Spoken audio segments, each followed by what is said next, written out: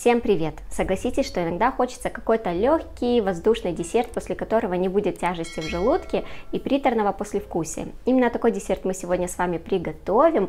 Нежный, воздушный, легкий сметано-фруктовый торт. Он состоит из бисквита, сметанного мусса и лимонного желе. В принципе, ничего сложного нету, единственное, что требуется время для стабилизации мусса и застывания желе. Начнем приготовление с бисквита. Для него нам понадобится яйца, сахар и мука. Давайте готовить. В дежу комбайна отправляем яйца и взбиваем их до однородной структуры.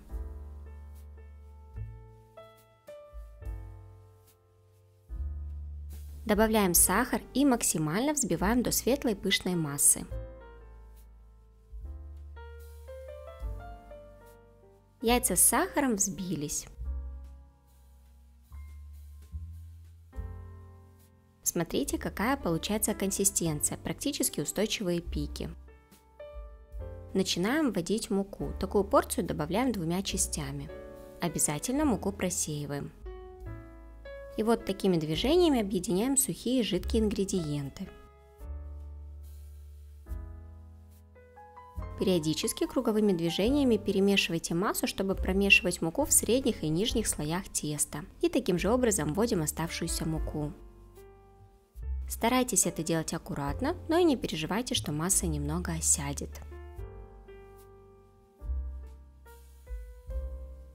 Я буду выпекать бисквит в кольце диаметром 18 сантиметров.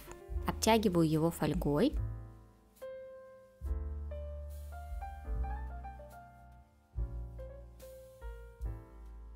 Особенно плотно прикрепляйте фольгу на местах стыка с кольцом. Сразу ставим кольцо на противень и выливаем в него бисквит. Немного разравниваем. Отправляем бисквит выпекаться в разогретую до 180 градусов духовку на 20-25 минут. Готовность проверяем деревянной шпажкой, она должна быть сухая. Пока бисквит выпекается, приготовим для него пропитку, для того, чтобы она успела полностью остыть. Для пропитки нам понадобится вода и сахар. Такую пропитку мы уже не раз готовили. Просто в сотейник отправляем воду и сахар. Ставим на плиту, доводим до кипения,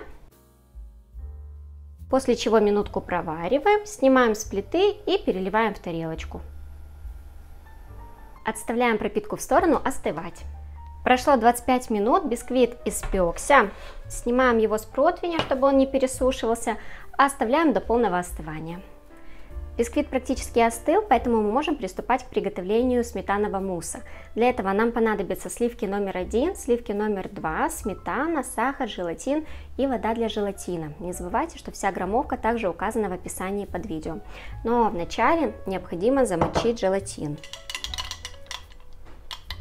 Оставляем его на минут 10-15, пока желатин не набухнет. Спустя 10 минут в сотейник выливаем сливки номер один, вес которых 150 граммов, и сахар. Ставим на плиту и на средней мощности прогреваем сливки и растворяем сахар. До кипения доводить не нужно. Как только сахар полностью растворился, снимаем сотейник с плиты и переливаем сливки в тарелку. Сюда же добавляем набухший желатин. Хорошо перемешиваем до полного растворения желатина. Добавляем сметану.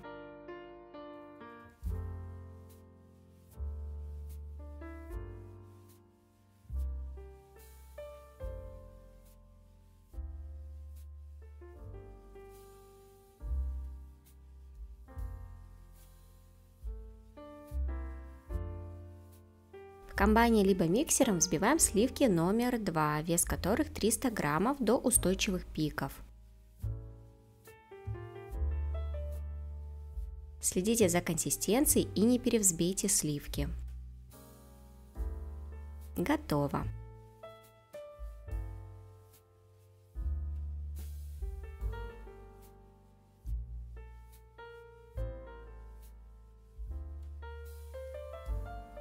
Добавляем взбитые сливки к остальной массе и аккуратно перемешиваем лопаткой.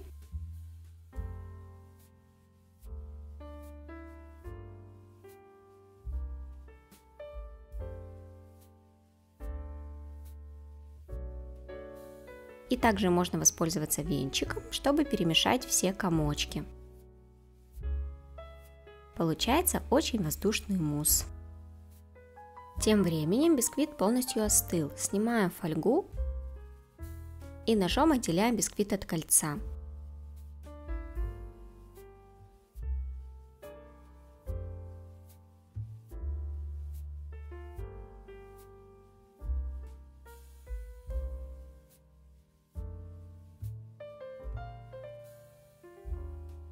Верхнюю корочку я, как обычно, срезаю.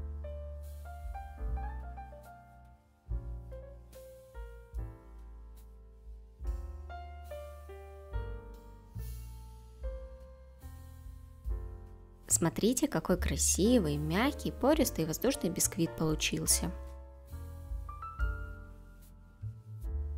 Подготавливаем тарелку с кольцом и ацетатной или бордюрной лентой. Без нее муссовый торт собрать невозможно. Я буду собирать торт в кольце диаметром 18 см, в котором пекла бисквит, но также можно собирать в форме 20 см.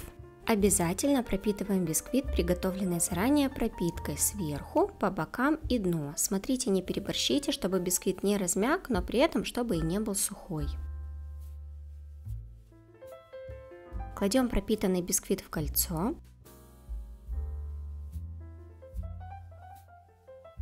и выливаем на него мусс. Смотрите, какой он воздушный.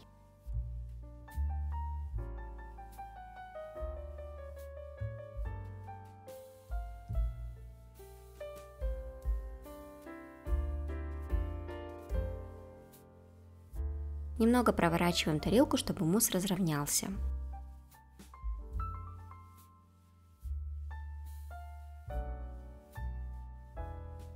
Как я сказала, я собирала торт в кольце диаметром 18 сантиметров, потому что я люблю высокие торты небольшим диаметром. Но его без проблем можно собирать в кольце диаметром 20 сантиметров, как раз ваш бисквит будет внутри мусса, тортик будет пониже, но при этом диаметром побольше. Ну а пока убираем аккуратненько торт в холодильник на 1 час для того, чтобы стабилизировался мусс.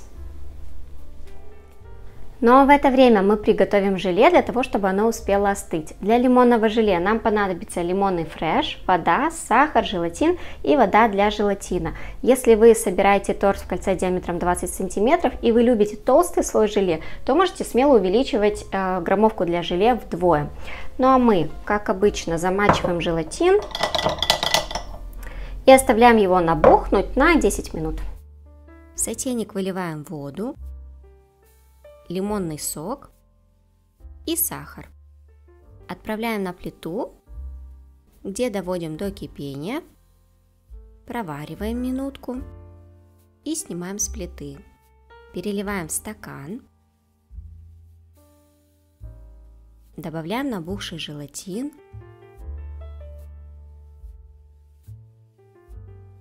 и перемешиваем.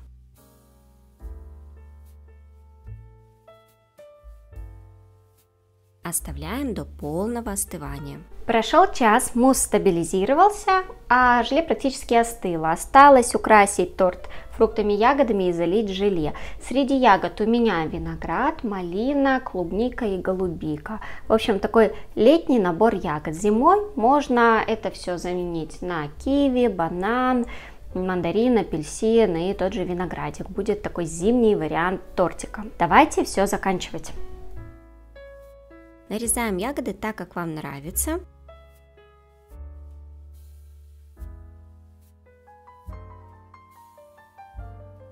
И красиво выкладываем по верхушке мусса.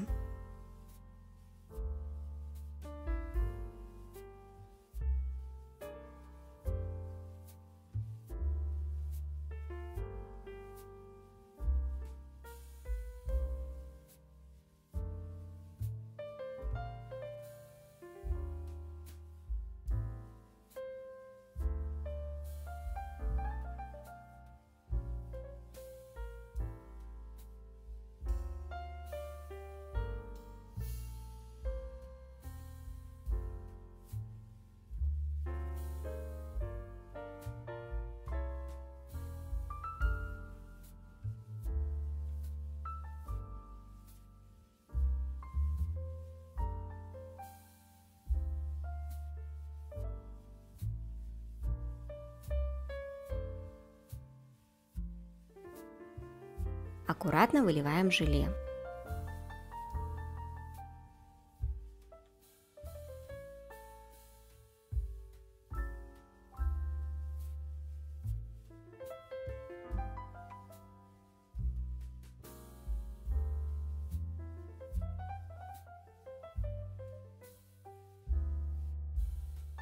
Аккуратно отправляем наш торт в холодильник на часов 5, для того, чтобы желе хорошенько застыло.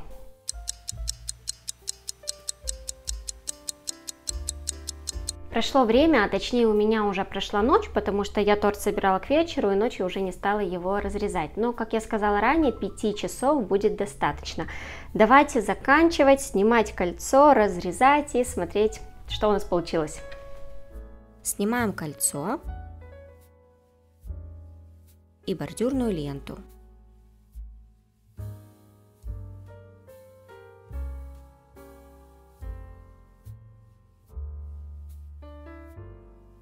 Получился невероятно красивый нежный тортик.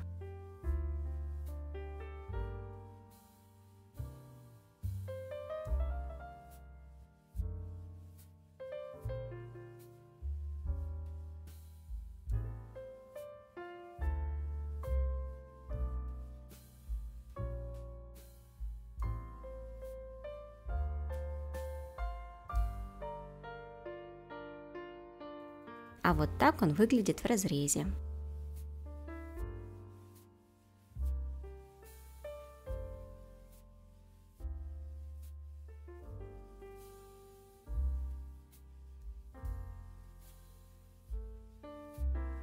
Вот такой летний тортик у нас сегодня с вами получился, хотя почему только летний? Зимой с более зимними фруктами после достаточно тяжелых рождественских панеттоне, штолинов, калачей, этот тортик, конечно, самое то. Давайте будем пробовать.